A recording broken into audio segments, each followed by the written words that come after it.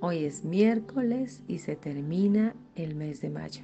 Gracias a Dios por todo lo que ha hecho nuestro profeta de profetas, el Señor Jesucristo. Y gracias a ustedes por escucharnos. El lugar santísimo le agradece por darle like a nuestros podcasts.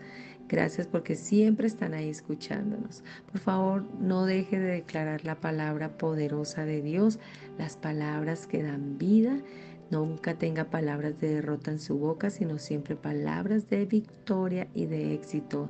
Recuerde que en su boca está el poder de la vida y de la muerte.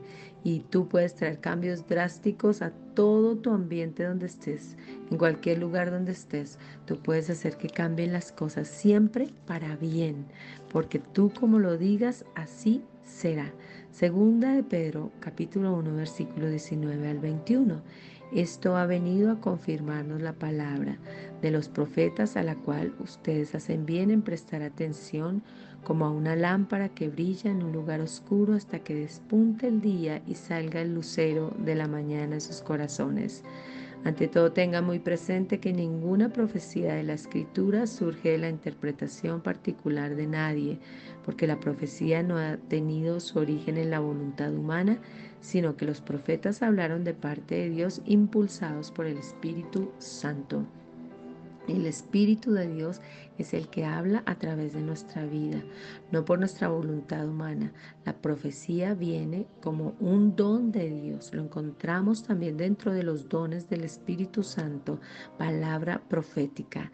Así que profeta, confírmate y levántate en el nombre de Jesús, que embellezcas todo tu entorno, que la gloria y la gracia del Señor sea moviendo sobre, tu vida y sobre tu familia y agradeciendo a Dios por todo lo que hace, declarando palabras de vida, de bendición, motivando a la gente para que conozcan al Señor Jesucristo.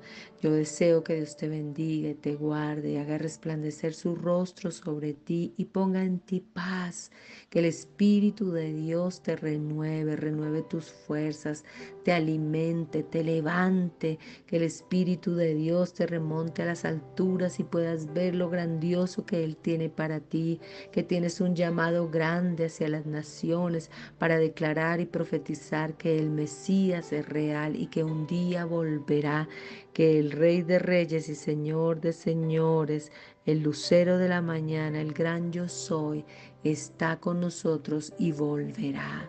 Te bendigo desde la coronilla de tu cabeza hasta las plantas de tus pies y declaro la sangre de Cristo cubriéndote y guardándote junto con tu familia en el nombre de Jesús.